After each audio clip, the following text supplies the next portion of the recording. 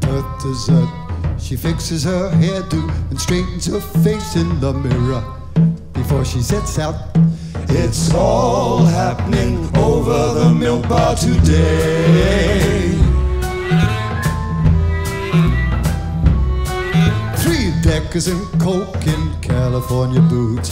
Young people crooning to radio tunes, and it's high hope she's having fun as soon.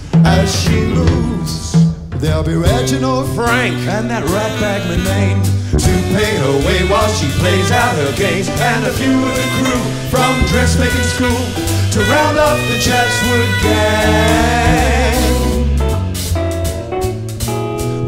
Move aside as she opens the door and escort her over the new tile floor. She'll chat us and charm us about just for sport as she waits for her sweetheart to come.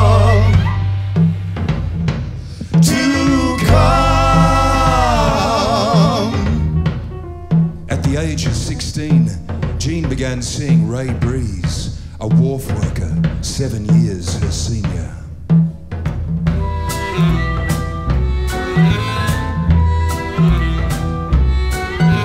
And when he does, he'll ask her to dance.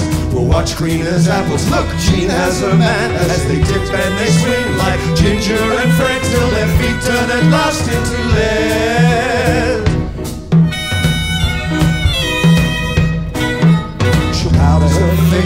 And makes her way over. Pretty and pale, the, the perfect Pavlova. She seats herself in the middle of the room in the light of this sunny afternoon.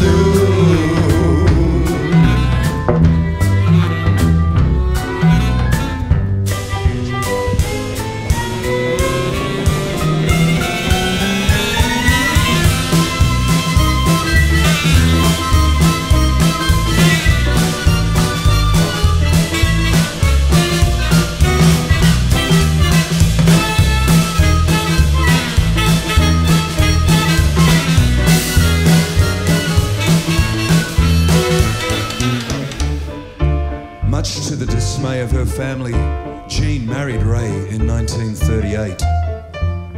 The Wrights believed that a girl as pretty and bright as Jean could have done much better.